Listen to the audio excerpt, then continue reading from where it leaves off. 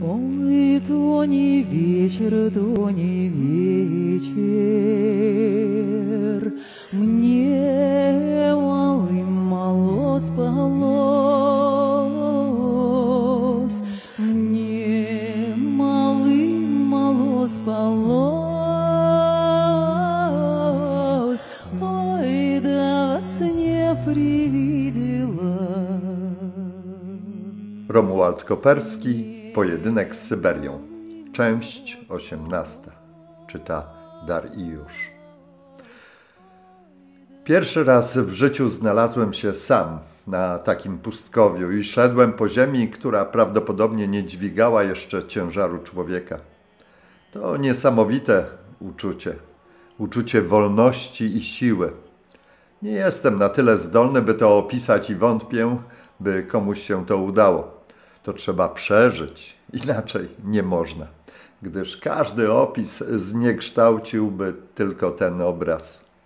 Zdawałem sobie sprawę, że jest to uczucie chwilowe i później znów powrócę na ten świat, ale w tym momencie byłbym bardzo niemile rozczarowany, gdybym spotkał na tym odludziu drugiego człowieka.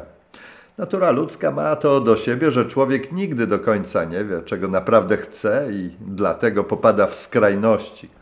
Chyba rację mają ci, co mówią, że szczęściem jest tylko droga do sukcesu. Szczęście się kończy, kiedy dopnie się celu. Wystarczy popatrzeć na ludzi, którzy stanęli u szczytu sławy. Niewielu naprawdę z nich wie, co to szczęście. Wśród obdartych, brudnych, wygłodzonych włóczęgów prędzej znajdziesz szczęśliwszych ludzi niż wśród gwiazd ekranu lub ministrów. Częściej też zdarzają się samobójstwa wśród sław niż wśród śmieciarzy. Słońce już się rozlało. Niebo i woda były tego samego koloru, tylko tajga kontrastowała swą czernią i grubą linią przecinała wszechobecną intensywną czerwień. Spojrzałem na zegarek, dochodziła druga w nocy. Na próżno mi dzisiaj czekać ciemności. Ta już w najbliższym czasie nie zapadnie. Noce były jasne jak dnie. Znalazłem nieopodal brzegu dogodne miejsce na nocleg i rezygnując ze zjedzenia kolacji, zmęczony, położyłem się na trawie. Zasypiając, słyszałem jeszcze kukułkę i ryby rzucające się co jakiś czas w wodzie. Pomimo, że twarz zakryłem gazą, to jednak podczas snu musiałem odruchowo ją zrzucić, a efektem było to, że dobrały się do mnie komary. Twarz miałem opuchniętą, a miejsca ukąszeń bardzo mnie spędziały. Wędrując dalej, co kilkaset metrów opłukiwałem rozpaloną twarz zimną wodą i postanowiłem, że choć będzie trwało to godzinę, to przed kolejnym noclegiem dokładniej się przed tymi wampirami zabezpieczę. Parokrotnie zaatakowały mnie jakuckie muchy. W rezultacie zwolniłem tempo marszu, by się nie pocić. Na obiad zjadłem jedną konserwę i popiłem wodą z rzeki. Później doszedłem do wniosku, że postąpiłem nierozsądnie, zjadając zawartość puszki, gdyż konserwy miały stanowić żelazny zapas żywności. Postanowiłem na następnym postoju nałapać ryb i nimi się odżywiać. Szedłem dalej piaszczystym brzegiem, tuż przy samej wodzie. Czasami tylko wchodziłem w tajgę, by ominąć jakąś stromą skarpę opadającą pionowo do wody. Forsowałem strumienie wpadające do rzeki. Jeden okazał się na tyle szeroki i głęboki, że musiałem go przepłynąć. Pod wieczór zachmurzyło się i zaczął najpierw siąpić deszczyk, który po jakimś czasie przerodził się w ulewę. Rozwiesiłem między drzewami pałatkę i schroniłem się pod nią. Po godzinie się przejaśniło i przestało padać. Zrobiło mi się zimno, ponieważ po ostatniej przeprawie przez rzeczkę ubranie nie zdążyło jeszcze na mnie wyschnąć. Nie pozostało nic innego, jak rozpalić ogień i wysuszyć odzież. Ponieważ wokół drzew znajdowało się wiele drewna na opał, zgromadziłem stos, podłożyłem suchy mech i malutkie gałązki i podpaliłem to zapałkami. Lekki wiatr pobudził do życia ognisko i pojawił się pierwszy dym. Stając pod wiatr, wpatrywałem się w słup dymu unoszący się między gałęziami i niknący w wierzchołkach drzew. Zmoczone deszczem drewno syczało i skwierczało w ogniu. Gałęzie paliły się powoli, a ponieważ ziemia pod nimi też zaczęła tajać, dodając swą wilgoć do ognia, więc gigantyczny słup dymu spiralnym ruchem unosił się do nieba. Podszedłem jak tylko mogłem najbliżej i w cieple płomieni suszyłem ubranie. Po jakimś czasie byłem już suchy. Ulewa sprawiła, że pozostał chłód i nawet komary się nie pojawiły. Płomienie już przygasły, ale czerwony żar mógł utrzymać się jeszcze bardzo długo i perspektywa spania w przyjemnym cieple była ogromnie zachęcająca. Pomny jednak wczorajszej nocy i skutków powstałych po odwiedzinach komarów staranniej przygotowałem się do jej spędzenia. Wyszukałem kilka odpowiednich gałązek, powiązałem je żyłką ze sobą i powstało coś na wzór kwadratowego szkieletu. Naciągnąłem na to podkoszulkę, a do frontowej części przymocowałem gazę. Dziwną tą konstrukcję nałożyłem na głowę i stwierdziłem, że zabezpieczenie jest gotowe. Szyję obwiązałem rękawem od kurtki i w tym momencie stałem się niedostępny dla komarów. Wczesnym rankiem, kiedy się obudziłem, miałem przed oczyma czarną zasłonę utworzoną przez siedzące na gazie komary. Dzisiaj jadalnia jest zamknięta. Bardzo Państwa przepraszamy. Śniadanie stanowiła kromka suchego chleba, którą jadłem, idąc skąpanym w porannym słońcu brzegiem. Zapomniałem na śmierci o jakuckich muchach, które pokazały naprawdę, co potrafią. Przygodę tę już opisałem. Do dzisiaj je widzę, jak zrywają się do lotu dosłownie spod wody. Brr. Byłem głodny, ale postanowiłem przetrzymać głód do wieczora, gdyż wędkowanie o tej porze dnia wydawało mi się bezcelowe. Było po prostu za gorąco. Maszerując, często zażywałem zbawczej chłodzącej kąpieli. Zdejmowałem tylko plecak i w ubraniu wskakiwałem do wody. Miało to dobre strony, gdyż ubranie długo chłodziło ciało. By sobie urozmaicić czas samotnej wędrówki, śpiewałem na głos wszystkie znane mi piosenki. W chwilę później coś innego zajęło moją uwagę. Ujrzałem jakiegoś ptaka, zajętego bez reszty patrolowaniem powierzchni wody. Ptak miał pokaźne rozmiary i był podobny do jastrzębia. Raz leciał tuż nad powierzchnią wody, innym razem szybował wysoko do góry. Czasami machając intensywniej skrzydłami, zawisał w miejscu, po czym zwijał skrzydła i jak kula spadał do wody. Po chwili, wrzeszcząc głośno z uciechy, leciał w stronę brzegu, a w szponach za każdym razem trzymał rybę. Znikał ze swą zdobyczą gdzieś między drzewami i po chwili pojawiał się znowu i zaczynał wszystko od początku. Z takim zainteresowaniem przyglądałem się jego łowom, że nawet nie spostrzegłem, że od dłuższego czasu stoję w miejscu. Czułem jakąś dziwną sympatię do nieznanego mi ptaka, a los ryby był mi w tym momencie obojętny. Koło południa wyłowiłem dźwięk nienależący do otoczenia. Coś płynęło po rzece. Dźwięk stawał się coraz intensywniejszy i pochodził z kierunku, w którym się udawałem. Należał do jakiejś dużej jednostki, gdyż w panującej ciszy wyraźnie już było słychać niskie dudnienie silników. Wypłynął wreszcie z za zakrętu. W oknach odbijało się słońce. Po sylwetce poznałem, że to masowiec lub tankowiec. Rósł szybko w oczach i widziałem wszystko coraz wyraźniej. Stałem i patrzyłem jak oniemiały. Pomalowany niegustownie w pstrokate, intensywne kolory tworzył dysonans z otoczeniem. Po wodzie płynęła część cywilizacji. Och, jak przytulnie musi być w kabinach. Odruchowo wyciągnąłem z plecaka kurtkę i założyłem ją. Kurtka była czerwona i na pewno kontrastowała z otoczeniem. Stanęłem przy samym brzegu, aby być widocznym z daleka. Wiedziałem, że nie miałem żadnej możliwości kontaktu z płynącymi, ale chciałem przynajmniej, by mnie zauważyli. Gdy podpłynął bliżej, zauważyłem, że to statek pełnomorski, przystosowany do przewozu paliw. Na pokładzie wyraźnie było już widać gęstwinę rur i różnych zaworów. Sądząc po zanurzeniu, płynął pusty. Ze smutkiem stwierdziłem, że nawet gdyby płynął w moim kierunku i posiadał dźwig, i tak nie mógłby zabrać mnie na pokład, ponieważ między urządzeniami zajmującymi cały pokład nie było wolnego miejsca. Zauważył mnie sternik i wyszedł na mostek. Przyglądał mi się przez lornetkę. Pomachałem mu ręką. Wszedł do środka i za chwilę powietrze rozdarł przeciągły ryk syreny. Syrena istniała, a echo długo jeszcze dźwięk podtrzymywało. Na pokładzie pojawili się ludzie. Pozdrowiłem przepływających machaniem ręki i oni też do mnie machali. Statek płynął z prądem rzeki. Oddalał się bardzo szybko, iż wreszcie zniknął za zakrętem. Widok oddalającego się statku sprawił, że zrobiło mi się bardzo smutno i wtedy dopiero tak naprawdę zatęskniłem za ludźmi. Zostałem znów sam na sam z dziką przyrodą, nie wiedząc nawet gdzie się znajduję. Od kiedy opuściłem obóz, otaczający mnie krajobraz pozostał właściwie jednolity. Przecinająca bezkresy lasu syberyjskiego szeroka wstęga rzeki, piaszczysty, a miejscami kamienisty lub trawiasty brzeg, to było wszystko, co widziałem. Traciłem już wiarę w sens tej wyprawy. Czy ja kiedykolwiek dokądś dotrę? Nachodziły mnie różne myśli i chwilowe zwątpienia. Po czasie jednak wszystko wracało do normy i wówczas robiłem sobie wyrzuty, że jestem kapryśny i rozczulam się nad sobą. Słońce od dawna nie znikało za horyzontem i można było je obserwować przez całą dobę. Teraz rozlało się czerwienią na niebie, co było dla mnie znakiem, że jest już późny wieczór. Całodzienna wędrówka sprawiła, że byłem tak zmęczony, że zasnąłbym, gdybym tylko przysiadł na kamieniu.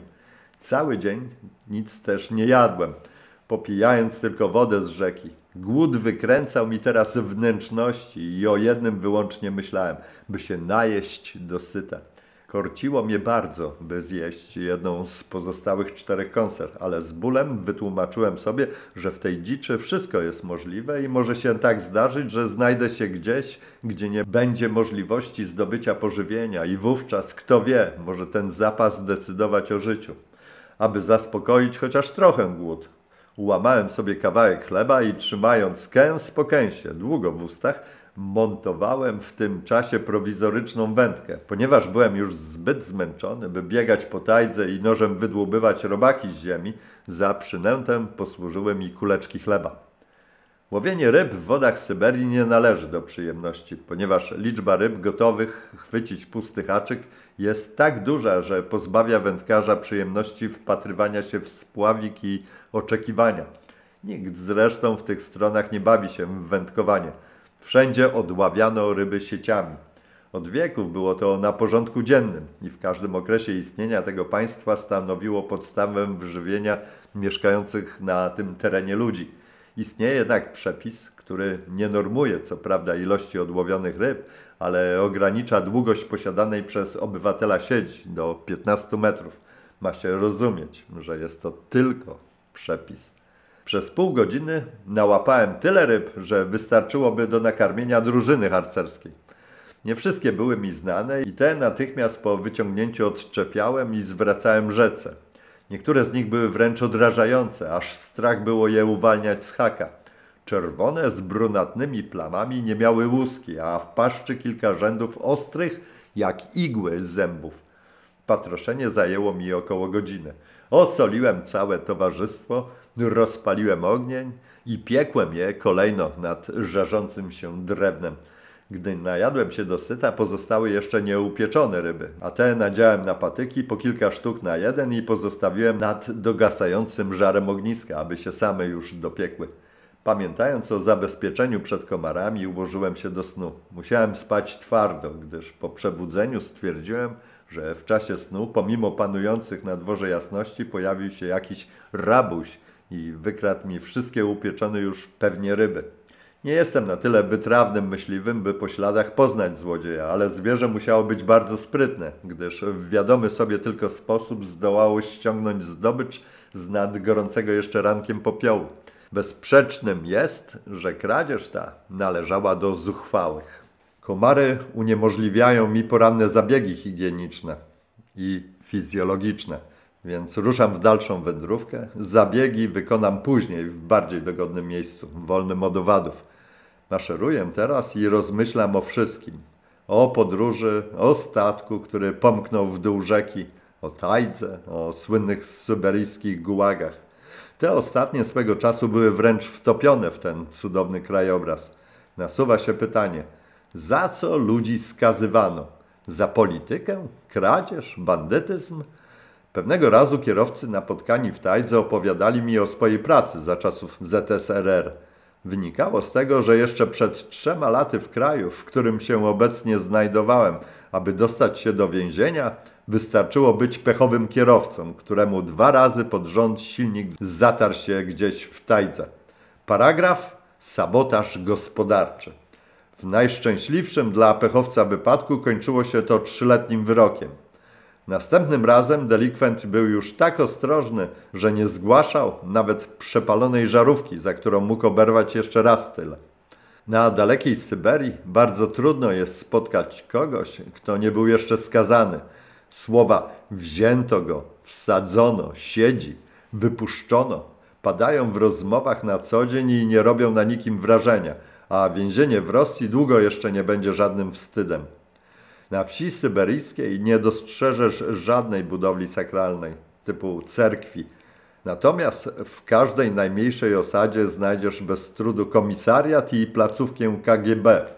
Ktoś powie, nieprawda, teraz już jest demokracja. Owszem, jest, ale widoczna tylko na zachód od Uralu. Zmiany, które nastąpiły po upadku ZSRR, nie dotarły jeszcze na syberyjską wieś i długo tam nie dotrą. Pokrzyczeć sobie można tłumnie w Moskwie czy w Sankt Petersburgu, ale niech ktoś tylko spróbuje coś głośniej powiedzieć w jakiejś małej zagubionej mieścinie. Dzisiaj głodny żołądek zmusił mnie wcześniej do łowienia ryb. Gdy złapałem już tyle, by najeść się dosyta, natychmiast je upiekłem i po jedzeniu powędrowałem dalej. Zatrzymywałem się jednak często, uważnie nadsłuchując, ponieważ za każdym razem wydawało mi się, że coś słyszę. Nie wyławiałem jednak żadnego dźwięku i wędrowałem dalej. Za chwilę stop! Coś słyszę. I znów nic, tylko szum drzew i wody. Oj, niedobrze już ze mną. Mam halucynacje słuchowe, pomyślałem. Po jakimś czasie ponownie przystanęłem. Teraz już wyraźnie słyszałem. Gdzieś, ale jeszcze bardzo daleko, pływała po wodzie motorówka. Po chwili jednak znów wszystko ucichło i nie było nic już słychać. Stałem jeszcze chwilę, łudząc się, że coś dosłyszę, ale niestety nic już nie zmąciło ciszy letniego wieczoru.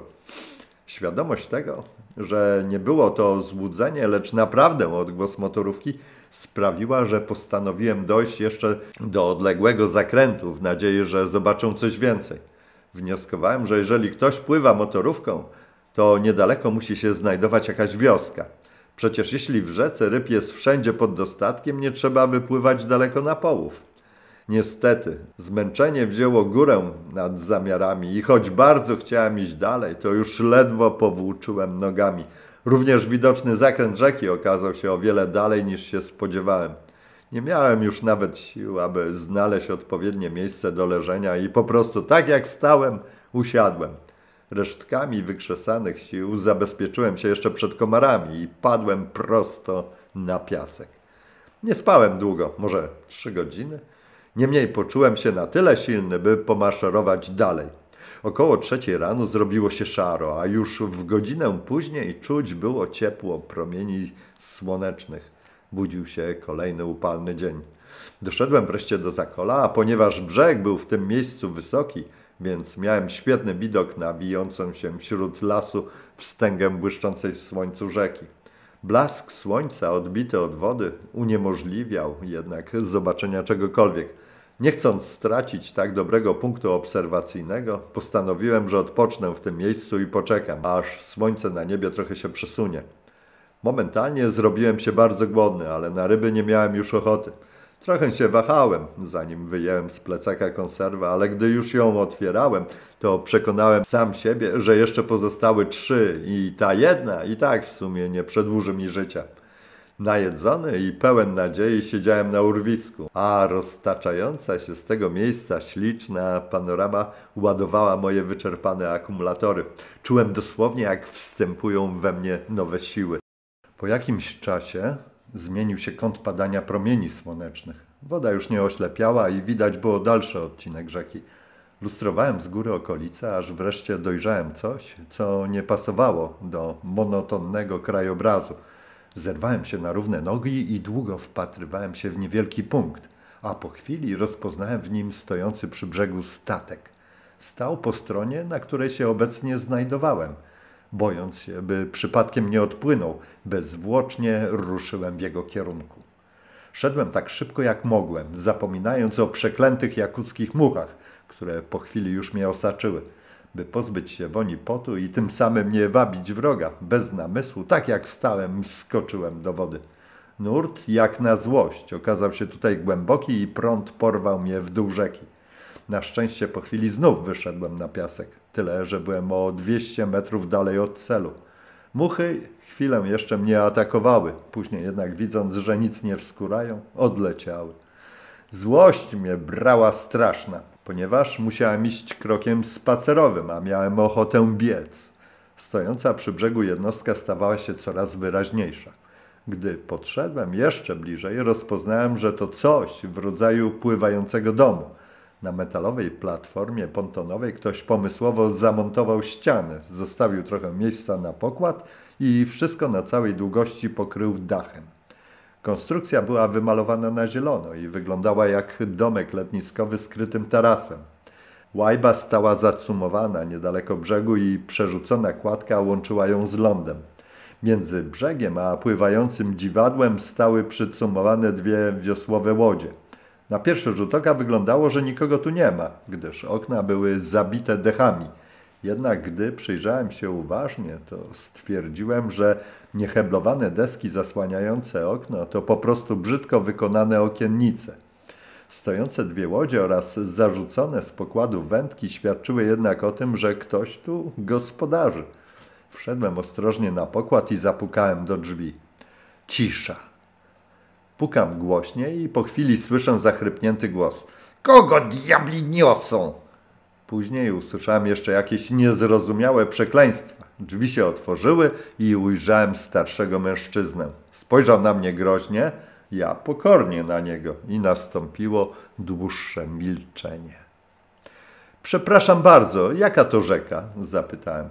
Jakie co? zapytał groźnie, marszcząc przy tym brwi. Chodzi mi o rzekę. Jak się nazywa? Jąkałem się. A skąd ty się tu wzięłeś? Z księżyca spadłeś? Ryknął na mnie jak kapral na szeregowca. Teraz się we mnie zagotowała. Nie krzycz na mnie, ty stary ramolu! Krzyknąłem, ale zaraz się opamiętałem. Nie czekając na jego reakcję, zacząłem opowiadać, jak się tu dostałem. Słuchał mnie z uwagą, po czym uśmiechnął się od ucha do ucha i wyciągnął dłoń na powitanie. Zaraz tak trzeba było mówić. Toś ty bredziaga. Zaprosił mnie do środka, podszedł do okna i otworzył brzydkie okiennice.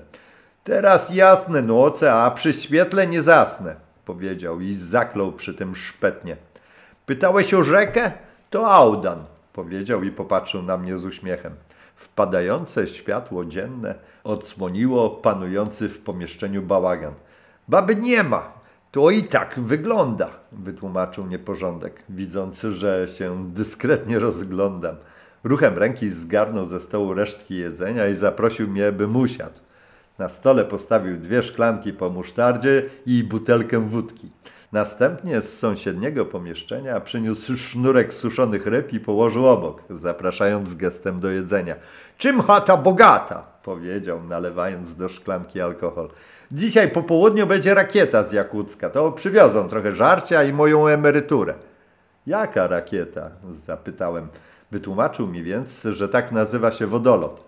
Dowiedziałem się też, że raz w tygodniu płynie z Jakucka do Czandygi, a po drodze rozwozi pocztę i niezbędne zaopatrzenie.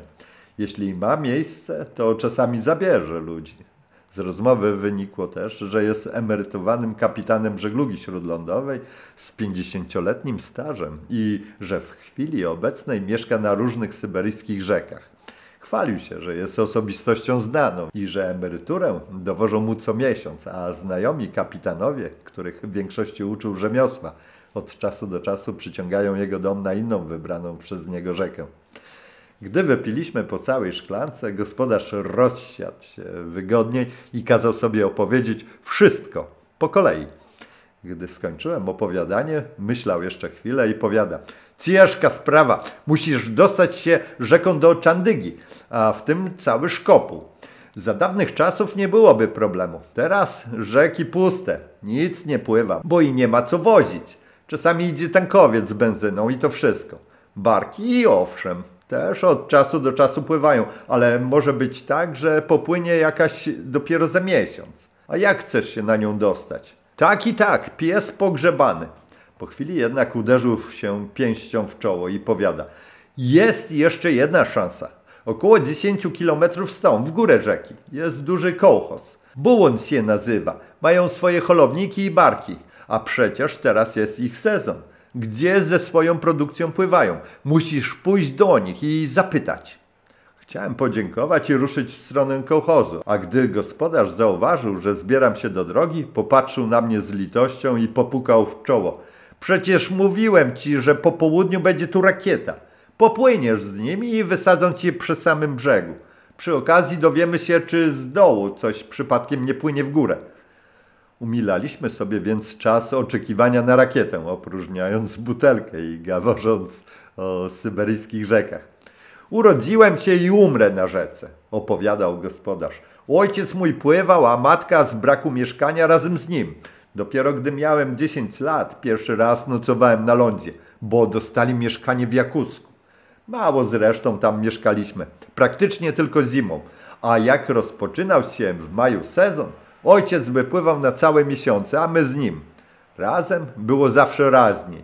Lenę i Audan znam lepiej niż siebie, śmiał się ze swojego dowcipu. Pływanie po syberyjskich rzekach jest tym samym, co pływanie po morzach. Tam występuje bezkres wody, a tu bezkres tajgi lub tundry. Bywa tak, że przez tygodnie nie widzi się śladu ludzkiego życia, tylko trudno wyobrażalne przestrzenie lasu syberyjskiego. W rejs nie zabierało się wiele do jedzenia, bo nigdy się nam nie przelewało. Jadło się cały czas rybę, a w tajdze szukało dzikiej cebuli, czosku i brusznicy. My, marynarze, dokładnie wiemy, co gdzie rośnie i podpływamy pod brzeg jak do swojego sklepu. Rejsy były długie, trwały miesiącami. Tylko Lena ma 4400 kilometrów. Co wy w Europie wiecie o naszych rzekach? Burzył się na wesoło kapitan. Czy ktoś uwierzy w to, że rzeka może mieć 60 kilometrów szerokości? Nikt nie uwierzy, prawda? A ma. I to Lena niedaleko za Jakuckiem, objaśnił z dumą. Sączyliśmy wódeczkę i rozmawiało się coraz przyjemniej. Niebawem usłyszeliśmy odgłos silników na rzece i wyszliśmy na pokład. Płynęła rakieta. Potężny warkot silników narastał z każdą chwilą. Przyznam, że zaskoczony byłem prędkością, z jaką zbliżała się do nas. Silniki wodolotu musiały mieć olbrzymią moc. Kapitan wodolotu wyraźnie już zboczył w naszym kierunku. Zwolnił i bardzo ostrożnie podpłynął do burty kapitańskiego domu. Kapitanowie znali się bardzo dobrze. Podczas gdy rozmawiali ze sobą, przekrzykując pracujące cały czas silniki, dwóch marynarzy wyładowało przywiezione dla kapitana zaopatrzenie. Gospodarz nie przyjął przywiezionej emerytury, tylko podał kartkę z listą zakupów z prośbą o przywiezienie mu za tydzień. Następnie poprosił, aby mnie zabrano w górę rzeki i na wysokości bułuna wysadzono gdzieś na brzegu. Pożegnałem się z kapitanem, a ten zaprosił mnie do siebie, gdy będę w drodze powrotnej. Niestety, dowiedziałem się, że nic nie płynie w dół rzeki, powiedział ze smutkiem, ściskając mi dłoń. Wszedłem na pokład i po chwili z prędkością 60 km na godzinę prułem w górę rzeki. Na pokładzie znajdowało się kilkunastu pasażerów, w większości jakutów i spore ilości różnych paczek i worków. Nie zdążyłem jeszcze dobrze się rozejrzeć, gdy zauważyłem, że wodolot wyraźnie zwalnia i kieruje się w stronę brzegu. Płynął teraz wolno i domyśliłem się, że kapitan szukał odpowiedniego miejsca, aby mnie wysadzić.